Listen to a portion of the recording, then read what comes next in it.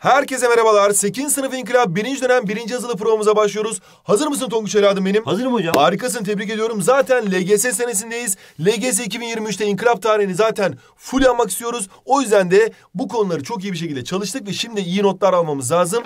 Bugün sizlerle birlikte öncelikle birinci ünite bir kahraman doğuyor. Sonrasında ikinci ünite milli uyanış, bağımsızlık yolunda adımları mükemmel bir şekilde öğreneceğiz. Önce konu özetimiz gelecek. Ardından da süper yazılı sorularımız var. Muhtemelen sınavınız test şeklinde olacak. Genelde test yapıyorlar. Evet genelde hep test yapıyorlar haklısın. Ama bizler de yine yazılı sorusu gibi de sizlerle çalışacağız ki hiçbir risk olmasın. Intromuz girsin ve yazılı programımız başlasın.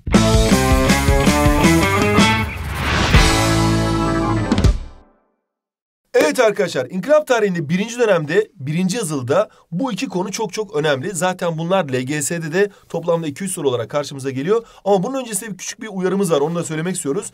Tonguç'la yazılı hazırlık arkadaşlar 3 aşamada gerçekleşiyor. Birincisi şu anda gördüğünüz izlediğiniz videoda yazılı kampındayız ve bu yazılı kampında sizlerle birlikte İnkılap tarihini mükemmel bir şekilde öğreniyoruz. Birinci dönem birinci yazılı kampımızı mutlaka takip edin arkadaşlar. İkinci basamak ise tabii ki yazılı notları ve dinamo. Yazılı notlarımız sizler için hazırlanmış efsanevi notlar. Burada Türkçe, matematik, fen, din, inkılap, İngilizce yani tüm dersler için efsanevi notlar var. Yazılarda başucunuzdan ayırmayacağınız harika notlar. Buradan çalışıyorsunuz. Ve tabii ki Dinamo soru bankalarındaki testler de sizler için hem LGS adına hem de yazılar adına süper büyük yardımcı. Üçüncü ve en önemli adım ise tonguçakademi.com'da canlı yazılı provalarımız var arkadaşlar. 8. sınıfta biliyorsunuz hem LGS dershanemiz hem de Tonguç Plus var. Burada canlı yazılı provalarıyla sizleri hem yazılılara hem de genel olarak LGS'ye mükemmel bir şekilde hazırlıyoruz. Bu uyarıyı ve bu e, bilgilendirme yaptıktan sonra hemen yazılı notlarına başlıyoruz arkadaşlar. Önce bir yazılı konularını sizlere güzel bir şekilde özetleyeceğim. Sonrasında da sorularımız gelecek. Beni sessizce ve dikkatli bir şekilde dinlemeni istiyorum Tonguç'um. O zaman milli mücadeleye başlamadan önce ilk baştan konuyu öğreniyoruz. Bir kahraman doğuyor. Aynen dediği gibi şimdi önce bu konuyu öğrenelim. Ardından da diğer konumuzda mükemmel bir şekilde devam edeceğiz. Şimdi uyanan Avrupa konusuna baktığımızda öncelikle şunu bileceğiz. Coğrafi keşifler sonrasında Avrupa zenginleşiyor. Bu bir. Avrupalılar coğrafi keşifler Amerika'yı keşfediyorlar, Afrika'yı keşfediyorlar, dünyanın yuvarlak olduğunu keşfediyorlar, Avustralya'yı keşfediyorlar. Birçok yere ulaşıyorlar ve zenginleşiyorlar. Sonrasında Rönesans oluyor çünkü sanatçılara destek veriyorlar, sanatsal gelişmeler yaşanıyor. Reform oluyor, sanatçılara destek verince ve bilim insanlarına destek verince Avrupalılar bilimde ilerliyorlar ve matbaada da çok güzel gelişmeler yaşanıyor. İncil çoğaltılıyor ve kilisenin esasında baskı yaptığı ortaya çıkıyor. Bak coğrafi keşifler sonrası Avrupa zenginleşti. Bir. Rönesans'ta sanatsal gelişmeler oldu. Avrupa zenginleşti. İki. Yani en azından bilimsel anlamda zenginleşti. Reformla kilise baskısı bitti. Kilisenin baskısından kurtuluyorlar. Ve aydınlanma çağına giriyorlar. Akıl ön planda. Akıl ön plana geldi ve sanayi inkılabıyla da makine gücüne geçilmiş oldu. Bunu her zaman aynı örneği veriyorum. Eskiden gömlekler elimizle dikiliyorken sanayi inkılabı sonrasında makinelerde, fabrikalarda hızlı bir şekilde üretilmeye başladı. Ve bunun sonrası Avrupa ne oldu? Güçlendi, zenginleşti hocam. Aynen dediğin gibi güçlendi, zenginleşti ve bunun sonrasında Avrupa'da Birinci Dünya Savaşı'nın sesleri gelmeye başlayacak. Bu arada Avrupa'da bir önemli bir gelişme daha var 1789'da. Fransız ihtilali oldu. Fransız ihtilali sonrasında da milliyetçilik akımı ortaya çıkıyor. Yani Fransızlar diyorlar ki biz krallarımızı öldürdük artık halk yönetecek ülke diyorlar. Ve bu tehlike yani bu birçok devlet var. Avusturya Macaristan İmparatorluğu var. İşte eee, Rus İmparatorluğu var, Osmanlı Devleti var. Bunlar daha doğrusu Avrupa'daki devletler korkuyorlar tamam mı? O şeylerden, Fransızlardan. Ya diyorlar sizlerde yaşanan bu özgürlük düşüncesi tüm dünyaya yayılabilir diyorlar. Ve Fransızlara karşı cephe alıyorlar. Fransızlar da biz Fransızız, işte Sırplar biz Sırbız, Bulgarlar biz Bulgarız, Rumlar biz Rumuz diyerekten isyan edecekler ve milliyetçilik akımı ortaya çıkacak. Bunlar Osmanlı Devleti'ni tabii ki olumsuz etkileyecek. Mesela coğrafi keşifler sonrasında ticaret yolları değişiyor. Bu Osmanlı'yı olumsuz etkiliyor. Bak buraya üzüntü işareti koyuyorum. Rönesans reformda bir sıkıntı yok. Reform olumlu etkiliyor hatta. Çünkü reform sırasında mezhep savaşları çıkıyor. Osmanlı hızlı bir şekilde ilerliyor. Sanayi inkılabı Osmanlı'yı olumsuz etkiliyor. Çünkü Avrupalılar resmen ekonomimizi ele geçiriyorlar. Çok hızlı üretiyorlar. Yani biz hala bunu elimizle dikerken Avrupalılar fabrikada üretip bize çok daha ucuza satıyorlar. Fr- Fransız ihtilali Osmanlı Devleti'nin dağılmasına sebebiyet veriyor milliyetçilik akımları. Bu da Osmanlı Devleti'ni olumsuz etkiliyor. Niye? Osmanlı'nın içinde Türkler, Rumlar, Ermeniler, işte e, Araplar, farklı farklı milletler var. Fransız ihtilalinden sonra ben Sırbım, ben Bulgarım, ben Rumum, ben Romenim diye hepsi birden ayrılmaya başlayınca Osmanlı Devleti de dağılmaya başlıyor. Ama tabii ki Mustafa Kemal Atatürk biz de Türk'üz diyerek yeni Türk Devleti'ni kuracak. Şimdi Osmanlı tabii bu bak dikkat etsen bayağı bir üzüntü işareti koydum. Osmanlı sarsılınca da Osmanlı'nın dağılmasını önlemek için fikir akımları ortaya çıkıyor. Osmanlıcılık, İslamcılık, Türkçülük ve Batıcılık. Osmanlıcılık akımı şu. Osmanlı Devleti'nde yaşayan herkes Osmanlı vatandaşıdır. Sen Türksün, sen Rumsun, sen Ermeni hiç ayrılmaya gerek yok diyor. Ama tutmuyor bu fikir. Çünkü Balkanlarda uygulanan Slav milliyetçiliği, panslavizm politikası yüzünden Balkanlardaki birçok ulus dağılıyor ve Osmanlıcılık politikası batıyor. İslamcılık politikasına baktığımızda Osmanlı Devleti'nde yaşayan Müslümanlar hepimiz halifeye bağlıyız. Osmanlı halifesine bağlıyız. İşte sen Türksün ben Arapsın diye ayrılmaya gerek yok diyoruz. Ama İngilizler Arapları kışkırtıyor ve İslamcılık politikası da tutmuyor. Çünkü Araplar Birinci Dünya Savaşı'nda Osmanlı'ya saldırıyorlar. Türkçülük politikası tutacak çünkü yeni Türk Devleti'nin de kuruluş politikalarından biri olacak. Ee, batıcılık politikası ise yine yeni Türk Devleti'nin inkılapçılık felsefesini belirlerken faydalandığı bir politika olacak. Ama bunların hiçbiri Osmanlı Devleti'nin dağılmasını engelleyemiyor. Tanzimat Fermanı kanun üstünlüğü. Islahat Fermanı'nda gayrimüslimlere haklar veriyoruz. Tanzimat Fermanı'yla anayasal güvence altına alınıyor evlenme, boşama, miras hakları. Birinci meşrutiyet, ikinci meşrutiyet ile de halk yönetime katılıyor. Yani padişahın yanında halk yönetime katılıyor. Bunu yedinci sınıfın sonunda öğrenmiştik. Yüzde yüz padişahın, yüzde yüz kralın yönettiği yönetime biz monarşi diyorduk. Yüzde yüz halk yönetirse ne diyorduk Tonguç'um? Cumhuriyet diyoruz. Harikasın, cumhuriyet diyorduk. İşte yüzde elli padişah, yüzde elli halk yönetirse de buna meşrutiyet diyoruz. Şimdi mavi gözlü çocuk Mustafa konusuna baktığımızda Selanik şehrinin özelliklerine bakalım. Birincisi sosyal, dini ve ekonomik olarak Selanik'in gerçekten çok önemli özellikleri var. Birincisi çok renkli bir sosyal hayatı var. Farklı dinler bir arada yaşıyor. Liman kenti ekonomik açıdan gelişmiş durumda. Mustafa Kemal'in eğitim hayatına baktığımızda Mustafa Kemal farklı farklı okullarda okuyor. İlk başta işte mahalle mektebine gidiyor. Sonra İdadiye'ye gidecek. Sonra Rüştiye'ye gidecek. Sonra İdadiye'ye gidecek. Sonra Harp Akademilerine gidecek ama temelinde şu çok önemli. Osmanlı eğitim sisteminde farklı türde okullar var ve eğitim birliği yok. Bak burası önemli Tonguç evladım benim. Burası sınavda sorulur bak. Osmanlı'da eğitim sisteminde eğitim birliğinin olmadığı sınavda sorulur. LGS'de de sorulur. Hatta 2022 LGS'de ve 2021 LGS'de soruldu. Şimdi buhranlar, büyük kahramanlar doğurur konusuna bakalım.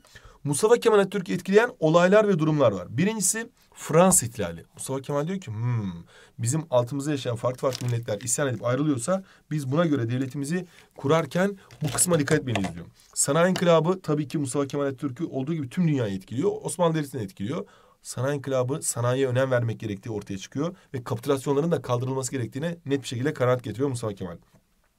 Osmanlı'nın durumu da gerçekten o dönemde zor bir durum. Yani Balkan Savaşlarından yenik çıkmışız, Trablusgarp Savaşı'ndan yenik çıkmışız, Birinci Dünya Savaşı'ndan yenik çıkmışız. Gerçekten Mustafa Kemal Atatürk anlıyor ki akılcı ve mantıklı hareket etmemiz lazım. Eskiden çok güçlüydük, her yeri fethediyorduk, her yeri alıyorduk ama şimdi biraz mantıklı davranmamız gerekiyor diyor.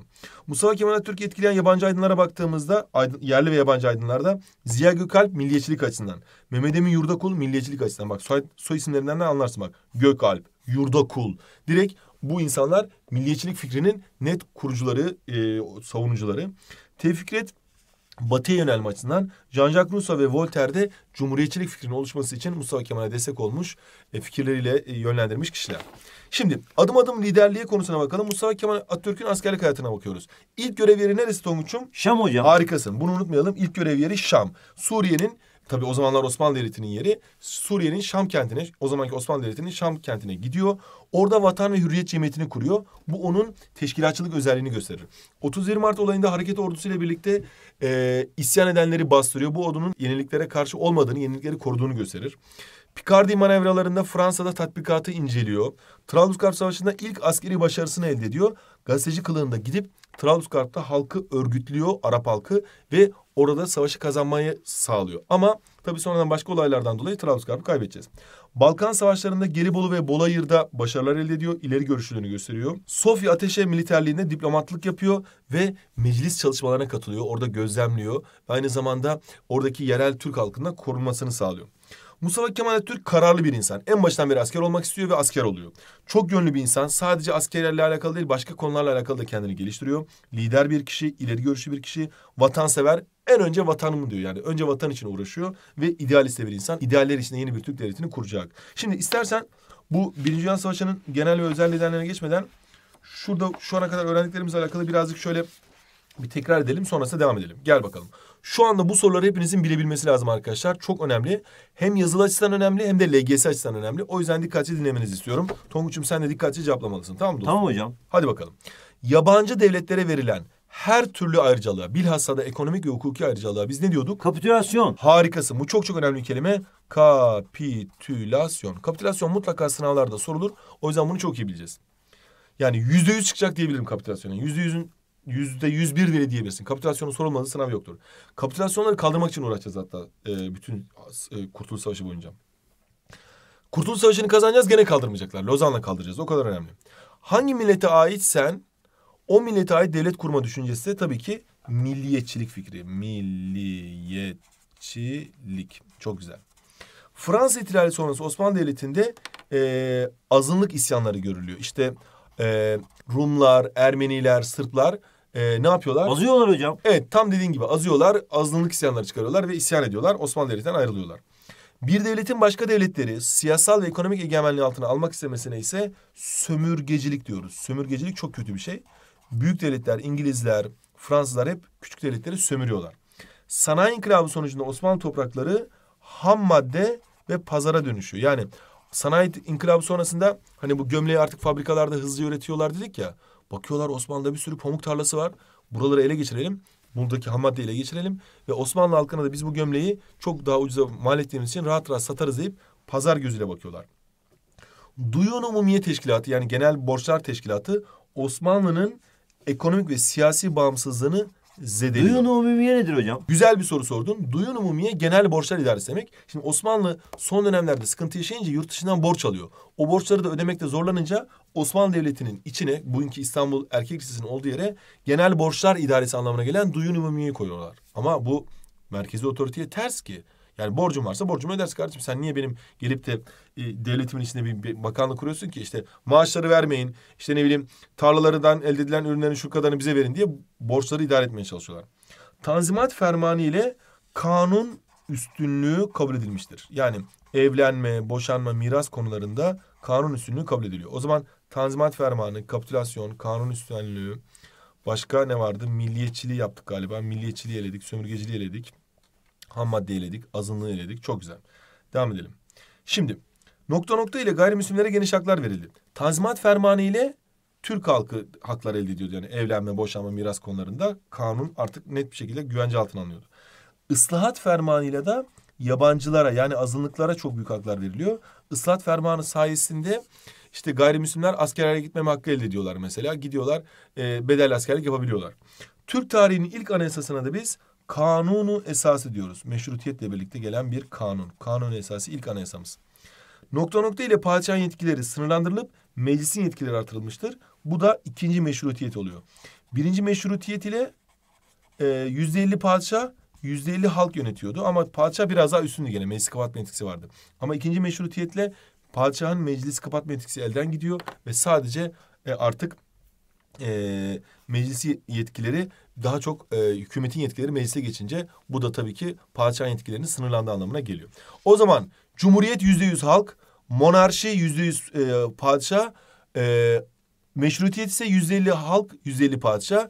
Birinci meşrutiyette padişah biraz daha güçlü, ikinci meşrutiyette ise meclis güçlü. Şimdi gelelim buraya. Doğru yanlış gene az önce işlediğimiz konularla alakalı. Mehmet Emin Yurdakul Türkçülük fikir akımının temsilcileri arasında yer alır. Bak soy ismi neydi Tonguç'um? Yurdakul hocam. Harika söyledin. Yurdakul yani Türkçü. Net bir şekilde doğru. Batıcılık fikir akımı 2. Abdülhamit tarafından devlet politikası haline getirilmiştir. Batıcılık fikri değil de İslamcılık fikri. Buraya düzeltelim. 2. Abdülhamit İslamcılık fikrini e, sunuyor. O yüzden bu yanlış. Osmanlıcılık fikir akımı Osmanlı topraklarında yaşayan herkesin eşit olması gerektiğini savunur. Evet Osmanlı'da yaşayan herkes Osmanlı Devleti vatandaştır diyebiliriz. Şimdi şu buralara devam edeceğiz. Burası Birinci Dünya Savaşı ile alakalı ama şuradaki e, Selanik'le alakalı sorulara bakalım. Buradan da sınavınızda yüzde yüz sorulacak. O yüzden buraya dikkatli dinlemenizi istiyorum arkadaşlar. Osmanlı'da Selanik'in çok uluslu bir yapısı var. Bu onun sosyal bir özelliği. O zaman buraya sosyal yazıyorum Tonguç'um. Sosyal bir özellik. Society bak social, society toplum demek toplumsal bir özelliği yani. Çok uluslu toplumsal bir özellik. Farklı inançta insanlar bir arada yaşıyorsa bu ne bu neyle alakalı? Dinle alakalı. Harikasın. Dini. Yani Hristiyanı var, Musevisi var, e, Selanik'te Müslümanı var, farklı farklı inançlar var. Dolayısıyla bu dini. Farklı türde okullar, gazete ve dergiler vardır. Bu da tabii ki kültürel. Okul, gazete, dergi bunlar hep e, kültürle alakalı. Kültürel. Kışlaların bulunduğu karargah merkezidir. Bak kışla, karargah bunlar e, orduyla alakalı. O zaman bu nedir Tonguç'um? Askeriye ile alakalı. Harikasın. Askeri yazıyorum çok güzel. Askeriye ile alakalı yani. Ege Denizi'ne açılan bir liman kenti ise liman varsa para kazanabilirsin. Bu da o zaman ekonomik bir özellik oluyor Tonguç evladım benim.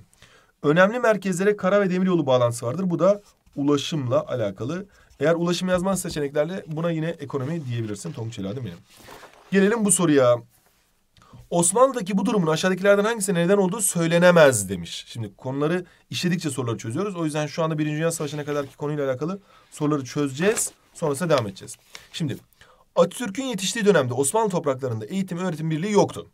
Bu dönemde okullar klasik eğitim veren Osmanlı mektep medreseleri, Batı tarzında eğitim veren Rüştiye İdadi ve Meslek okulları, gayrimüslimlerin yani Müslüman olmayanların açtığı azınlık okulları, yabancı devletlerin açtığı okullar şeklinde çeşitlilik göstermekteydi. Bu durumun hangisine neden olduğu söylenemez demiş. A. Kültür birliğinin oluşmasının engellenmesine neden olmuş mudur? Evet hocam. Tamam bunu geçtik. Farklı eğitim anlayışlarının ortaya çıkmasına da neden olur. Ortak bir eğitim anlayışının oluşmamasına da neden olur. Çünkü bunların her biri aynı şey zaten.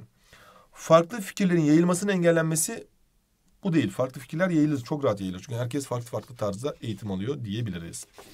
Geldik buraya. Aşağıda Mustafa Kemal Atatürk'ün görev yaptığı yerlere ait bilgiler verilmiştir.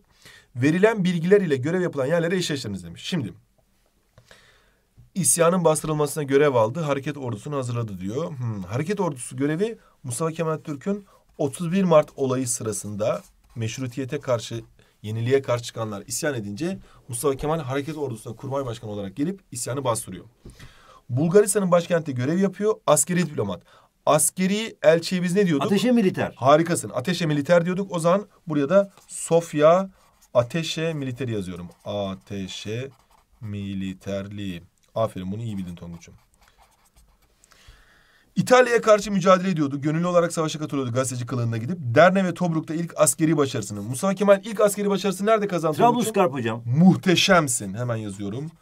Trablusgarp'ta. Bak bu çıkmış sınavda. Bunu yeniden sorabilirler. Buraya tekrar geliyorum. Sadece yazılı için değil. E, LGS için de söylüyorum. Yani LGS'ye çalışan arkadaşlar da buraya dikkatli dinlesinler. Mustafa Kemal Atatürk Trablusgarp Savaşı'nda e, Trablusgarp'a gidip bugünkü Cezayir'e gidip oradaki Arap halkı örgütlüyor ve onların kurtulmasını sağlıyor. Aynı şeyi milli mücadelede de gelip Türk halkını yani bizi örgütleyerek başarıyor. Dolayısıyla bu çok önemli bir özellik. İlk görev yeri Mustafa Kemal Atatürk'ün neresiydi? Az önce Şam vermiştik. 5. Ordu. Harikasın. O zaman buraya yazıyorum. Şam 5. Ordu. Vatan ve Hürriyet Cemiyeti'ni kurması da onun teşkilatçılık özelliğiydi. Bak bunu da sınavda soruyorlar hep. Teşkilatçılık özelliği. Fransa'da askeri tatbikata katılıyor ve hava kuvvetlerinin önemine dikkat çekiyor. Hava kuvvetlerinin önemine dikkat çekmesi onun nasıl biri olduğunu gösterir Tonguç Ali Adem'in. İleri görüşlü olduğunu gösteriyor. Harikasın. Gerçekten çok iyisin. Tebrik ediyorum seni. O zaman buraya da Picardia manevraları yazarız. Picardi manevraları. Gerçekten mükemmel gidiyorsun Tonguç'um. Vatan ve Hürriyet Cemiyeti'ni kurması teşkilatçı olduğunu gösteriyor. Ee, askeri diplomat olarak başkentte görev yapıyor, azınlıkları koruyor, milliyetçi olduğunu gösteriyor. Hava kuvvetlerinin önemine dikkat çekiyor, ileri görüşlü olduğunu gösteriyor diyebiliriz. Çok güzelsin Tonguç'um. Savaşlardan önce ordunun siyasetten ayrılması gerektiğini söyledi. Gelibolu ve Bolayır görevleri de ikinci Balkan Savaşı oluyor Tonguç Ali Hanım benim. Hatta burada elde ettiği tecrübeyle Çanakkale zaferinde de çok büyük bir pay elde edecek. Çok büyük bir komutan olarak tanınacak. Şimdi burada Birinci Dünya Savaşı'na geldiğimize göre artık birazcık durabiliriz. Evet ha, pardon burası da Birinci Dünya Savaşı. Tamam. O zaman şöyle yapalım. Tekrar özetimize dönelim. Bu e, birinci üniteyle alakalı soruların hepsini cevaplamış olduk. Şimdi özetimize devam ediyoruz. Şuraları da cevapladık. Buraları da tamam tamamladık. Şöyle kaldıralım. Hızlı bir şekilde gidiyoruz. Amacımız yazıldan kaç almak Tonguç'um? Yüz almak. Aynen yüz almak. Zaten yüzde alacağız. Yani inşallah alacağız. Bizim esas hedefimiz LGS'de full almak. Evet devam edelim. Şimdi Birinci Dünya Savaşı'na geldik. Birinci Dünya Savaşı'nın genel nedenlerine baktığımızda birincisi ham madde ve pazar arayışı. Devletler bunun ham maddesini arıyorlar ve müşterisini arıyorlar. Pazar arıyorlar. Bunun için de sömürgecilik başlıyor ve milliyetçilik isyanları çıkıyor. Fransız ihtilali sonrası bak. Sömürgecilik sanayi inkılabı ile alakalı C yazıyorum.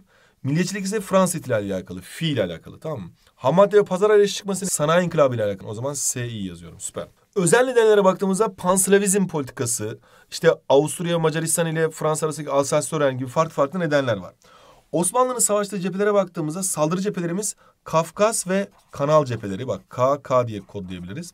Savunma cephelerimize Çanakkale, Suriye, Hicaz, Yemen ve Irak cephesi. Burayı da bileceğiz. bu kaka oluyor, bu da sıç oluyor. Veya çiş oluyor bildiğin neyse. Çanakkale, Suriye, Filistin, Hicaz, Yemen ve Irak dedik. Bir de yardım cepheleri var. Burada da Romanya, Galicia ve Makedonya cephelerinde e, müttefiklerimize yani dostlarımıza yardım ediyoruz. Birinci Dünya Savaşı'nı tabii böyle hızlı bir şekilde anlatamayız. Birinci Dünya Savaşı ile alakalı şunu iyi bilmemiz lazım ki Birinci Dünya Savaşı'nın İtilaf, ittifak böyle kodlamalarını net bir şekilde sana sınavda sorar hoca. Yani der ki işte itilaf devletleri var. İşte İngiltere, Fransa, e, Rusya, ittifak devletleri var. Almanya, Avusturya, Macaristan ve Osmanlı. Savaşı bak itilaf ittifakta kim kazanacak? İtilaflar kazanacak. Neden? Çünkü e, Amerika itilaf devletlerine yardım ediyor ve Amerika diyor ki yenenler yenilenleri ezmeyecekse, milletler cemiyeti kurulacaksa, Wilson ilkelerine uyacaksanız ben bunu kabul ediyorum diyor ve e, savaşı itilaf devletlerinin kazanmasını sağlıyor. Fakat burada şu çok çok önemli ki İngilizler Amerikan başkanına verdikleri sözü tutmuyorlar ve İkinci Dünya Savaşı'nın başlamasına sebebiyet verecek hatalar yapıyorlar. Şimdi sonra Birinci Dünya Savaşı'ndan sonra hatta Birinci Dünya Savaşı ile alakalı soruları şöyle hızlıca çözelim burada. Hmm, dur bakalım.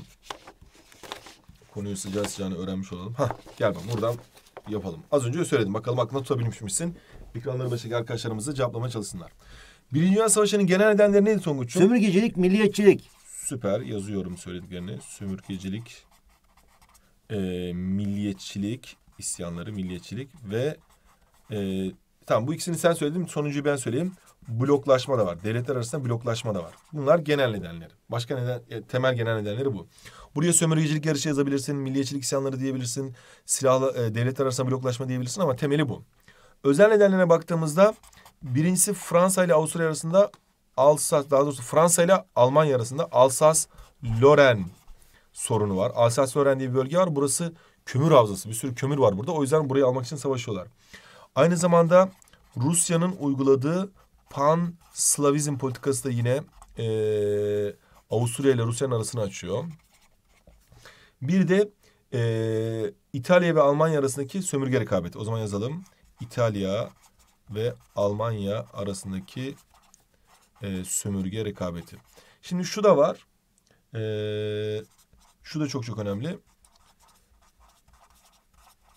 Savaşın bir de görünen nedeni var. Görünen nedeni neydi? Sırp gencin Macar veliahtı öldürmesi. Süper. Bu da gerçekten görünen nedeni. Şimdi geldik buraya. Birinci Dünya Savaşı başladığında Osmanlı Devleti tarafsızlığını ilan ediyor. Boğazları ulaşıma kapatıyor.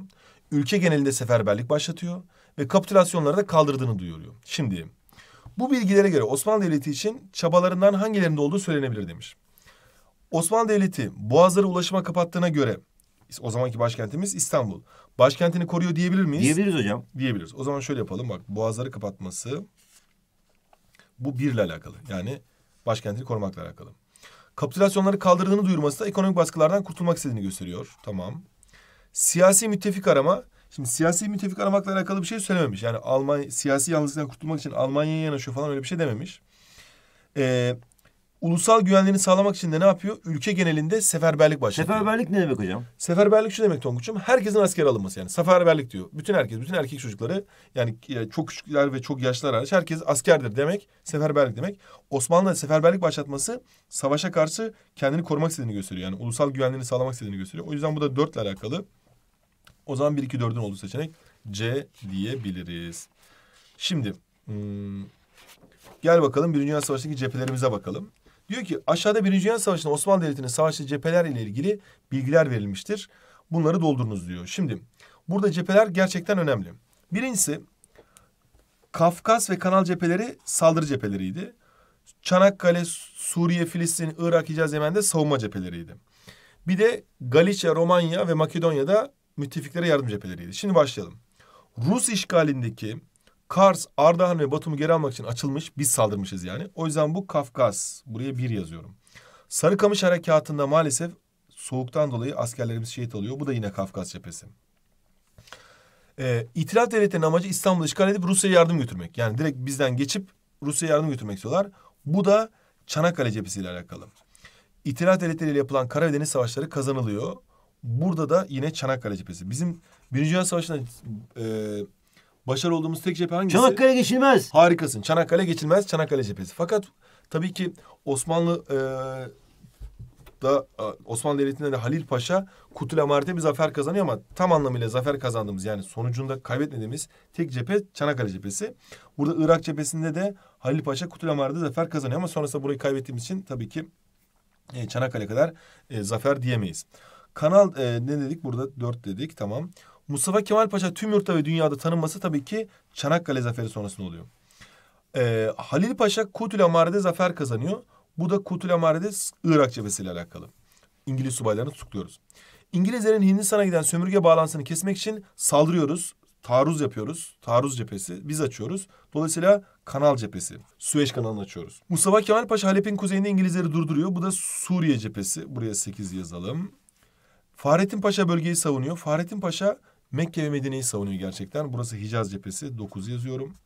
Kutsal topraklar maalesef İngilizlerin eline geçiyor. Kutsal topraklar dediği neresi? Mekke Medine hocam. Aferin. Oralar ele geçiyor. Avru- şey Araplar İngilizlere yardım edince İngilizler ele geçiriyor. Mustafa Kemal Paşa Muş ve Bitlis'i Ruslardan geri alıyor. Muş ve Bitlis Kafkas cephesiyle alakalı. O yüzden buraya da 11 yazıyorum.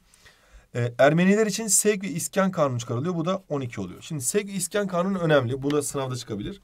Ermeniler Birinci Dünya Savaşı'nda üzerlerinde Rus kıyafetiyle bize saldırıyorlar. Rus askeri kıyafetiyle. Yakalayınca bir bakıyoruz ki ceplerinden Osmanlı kimliği çıkıyor. Ya kardeşim sen Osmanlı kimliği var. Niye bize Rus askeri kıyafetiyle saldırıyorsun? Meğer Ermeniler Ruslar kışkırtıyorlar. Ermeniler de bize saldırınca bize diyoruz ki Ermenilere o zaman biz sizi zorunlu göçe tabi tutuyoruz diyoruz. Ve Ermenileri Suriye'ye göç ettiriyoruz. Sevk ve İskan Kanunu dediğimiz bu. Ermenilerin Birinci Dünya Savaşı'nda Osmanlı kimliğine sahip olmalarına rağmen nüfus cüzdanları Osmanlı ama Rus askeri kıyafetiyle bize saldırdıkları için zorunlu olarak Suriye'ye göç etmelerine biz Sevk ve İskan Kanunu diyoruz. O zaman burayı da bitirmiş olduk. Tamam şimdi özetimize devam edelim. Birinci Dünya Savaşı ile alakalı önemli yerleri bayağı güzel bir şekilde sorular çözdük. Geldik savaş bitti şimdi. Birinci Dünya Savaşı bitti ama Birinci Dünya Savaşı'ndan sonra İtilaf Devletleri tabii ki şimdi şu çok önemli Tonguç'um bak bu genel olarak anlatıyorum. Savaşlar bitince önce ateşkes yapılır. Bak şimdi şuraya yazıyorum. Savaş yapılır tamam mı? Savaştan sonra hemen anlaşma yapılmaz. Önce ateşkes yapılır. Sonrasında antlaşma yapılır. Bak savaş, ateşkes, anlaşma yapılır.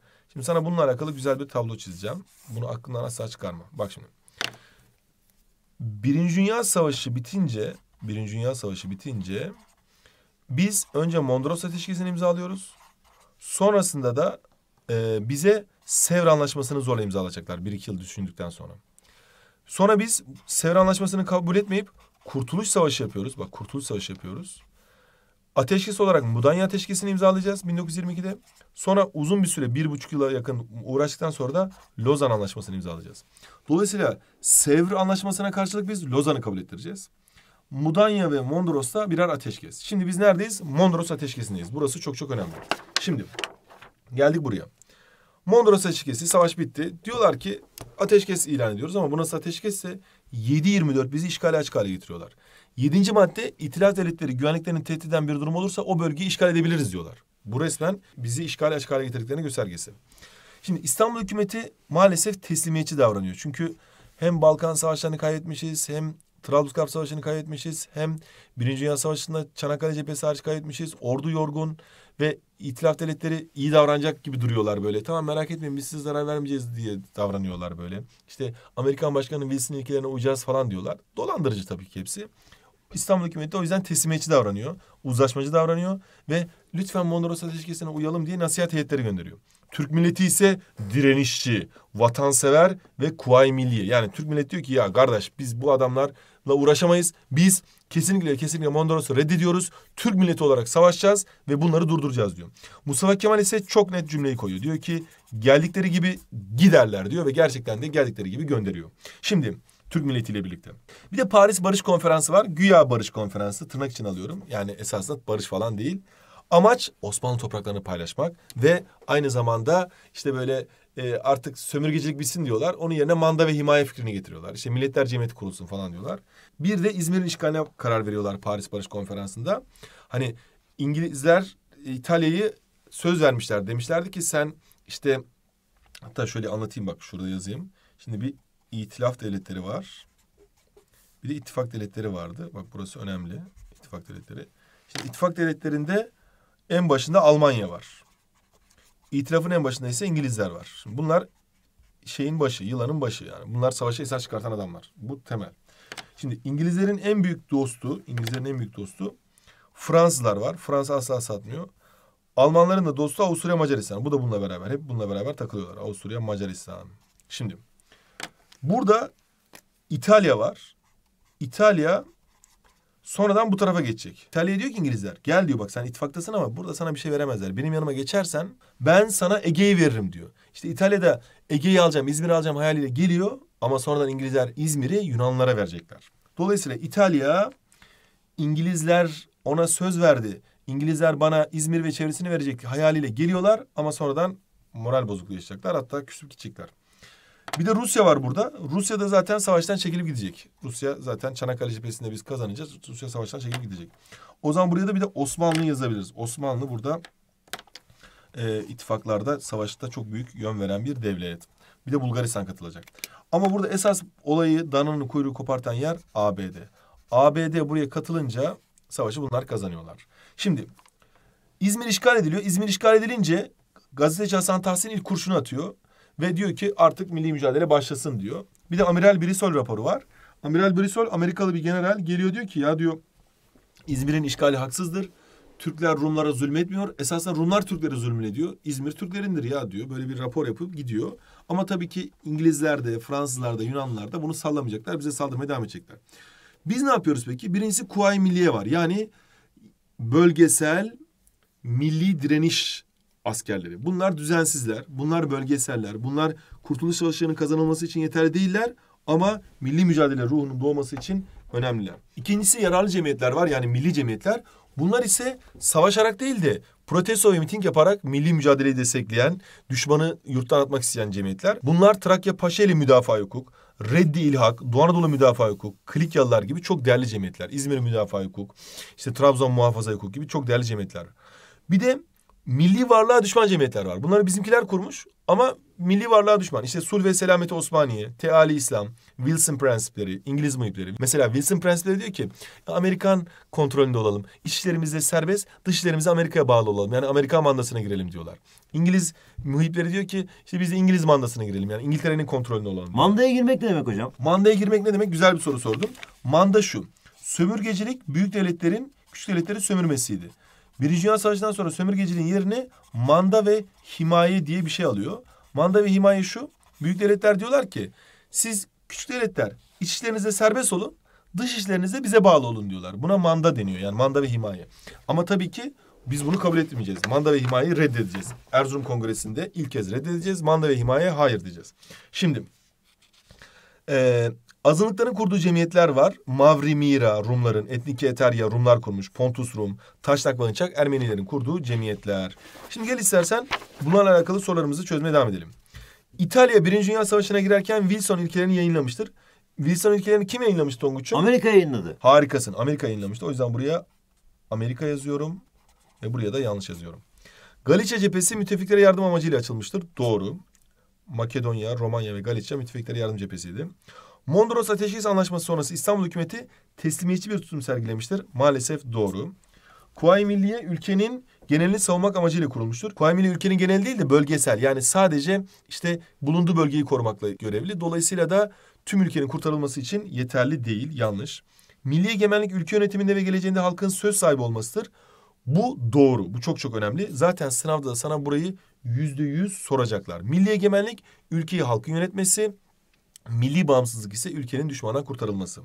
Kuvayi Milliye'nin kurulması milli egemenlik örneğidir. Hayır, milli bağımsızlık örneğidir Tonguç Elhanım benim. Buraya da dikkat etmen gerekiyor. Buraya da doğru diyoruz. Tamam. Şimdi bu sorumuzu da çözmüştük Tonguç'um. Burayı da çözmüştük.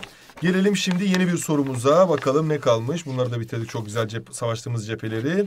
Ve geldik bu sorumuza. Şimdi Mondros Ateşkes Anlaşması'nın tabloda verilen maddelerin ilgili olduğu alanlarla doğru bir şekilde eşleştirilebilmesi için hangi maddelerin yer değiştirmesi gerekir diyor. Bak burası çok çok önemli. Bu soru da çok çok değerli.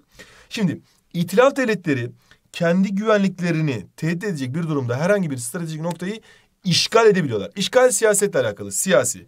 Birin bulunduğu yer doğru. Dolayısıyla birin olduğu A seçeneğini eliyorum. Ordu terhis edilecek. Orduya ait silahlar, cephane, donatım malzemesi ve taşıtlar müttefikler emrine verilecektir. Aa bak bu ordumuza yönelik bir durum. Dolayısıyla bu askeriye ile alakalı veyahut da savunma diyebiliriz. Haberleşme değil. O yüzden buraya savunma yazıyorum. Şimdi savunma yazıyorum. Üçe bakalım. Telsiz, telgraf ve kablolar itiraf devletleri subaylarının denetim altında bulunacaktır. Bak telsiz, telgraf ve kabloda haberleşme ile alakalı. O yüzden buraya da haberleşme yapıyorum. E, dolayısıyla bununla bu, bununla da bu yer değiştiriyor. O yüzden cevabımız Bursa seçeneği diyebiliriz. Ama dörde kontrol edelim. Yeraltı ve yerüstü zenginlik kaynakları itilaf devletlerinin kontrolüne bırakılacaktır. Bak zenginlik, ekonomi diyebiliriz. Geldik bu sorumuza. Verilen cemiyetlere ilgili bölüme yazınız demiş. Şimdi yararlı cemiyetler, zararlı cemiyetler var. Yararlı cemiyetler hep böyle sonu müdafaa hukuk diye bitiyor Tonguç'um. Trakya Paşaeli müdafaa hukuk, reddi ilhak veyahut da işte Trabzon müdafaa hukuk cemiyeti mesela. Veyahut da Doğu Anadolu, Doğu Anadolu müdafaa hukuk cemiyeti. Veyahut da işte Milli Kongre Cemiyeti. Bu da yine bölgesel değil de ulusal bir mücadeleyi savunuyor. Bir de Klikyalılar Cemiyeti var. Bu birazcık kafa karıştırıcı. Buna dikkat etmeni istiyorum Tonguç'um. Arkadaşlar size dikkat edin. Klikyalılar Cemiyeti sanki ismi böyle yabancı bir cemiyet gibi duruyor ama esasında Mezopotamya ve çevresi, Adana ve çevresini korumakla görevli bir cemiyet. Geldik zararlı cemiyetlere. Şimdi zararlı cemiyetlere şöyle sinirli bir insan tipi çiziyorum. Mavrimira Rumların. Alyans İsrail ve Makabi yine e, destek veriyor. Devam ediyoruz e, başka bir cemiyet olarak. Etniki Eterya bak bu da yine Rumların. Etniki Eterya. E, Pontus Rum. Pontus Rum da net bir şekilde Rumların kurduğu bir cemiyet. Bir de tabii ki Ermenilerin kurduğu cemiyet Hınçak ve Taşnak cemiyeti var. Bir de milli varlığa düşman cemiyetler var. Yani bizim içimizden çıkmış ama maalesef milli mücadele tersler. Sul ve Selameti Osmaniye, Hürriyet ve İtilaf, e, aynı zamanda Wilson prensipleri bak. Yani Wilson prensipleri az önce de söylemiştim Tonguç'um. Amerikan mandasına girelim. Amerika'nın kontrolünde olalım diyorlar. Ya da İngiliz muhipleri İngilizlerin mandasına girelim diyorlar. İngilizler bizi kontrol etsin diyorlar. İngiliz muhipleri. Aynı zamanda Teali İslam ve Kürt Teali bunlar da tabii ki milli varlığa düşman cemiyetler. Evet Tonguç'um yazılı programımız bitti. Şimdi sizin yapmanız gereken şey net bir şekilde belli arkadaşlar. Mutlaka yazılı notlarımızdan güzel bir şekilde tekrarlarımızı yapıyoruz. Yazılı notlarında tüm derslerle alakalı hem birinci hem de ikinci yazılı için süper bilgiler var. Bir de tabii ki Dinamo Set'teki İnkılap Tarihi soru bankamızdaki tüm soruları da temizlememiz lazım. Hemen Dinamo Set'i şöyle çıkaralım. Biliyorsun burada hem fen, hem din, hem matematik, hem Türkçe, hem İngilizce, hem de inkılapla alakalı süper sorular var. Buradaki sorularımız biraz fazla. Dinamo'daki sorular birazcık çokça ama hepsini çözdüğümüzde hatta ekstra dijital soruları da çözdüğümüzde inşallah hem LGS'de hem de sınavda en yüksek notlar alacağız. Bak burada mesela Sırbistan ee, Macar veliahtını öldürünce Macar buraya saldırıyor. Rusya Macar'a saldırıyor. Almanya Rusya'ya saldırıyor. İtalya Almanya'ya saldırıyor. ABD falan hepsi birbirine giriyor. Birinci Dünya Savaşı'nın nasıl olduğunu anlatan bir resmi sizlere soru olarak getirdik. Tamamdır. Şimdi o zaman bu ödevlerimize verdik. İnşallah sınavda en yüksek notları yüzleri alacaksınız. Ödül sorumuzu yapın yorumlara yollayın. Şimdiden sınavlarınıza başarılar arkadaşlar.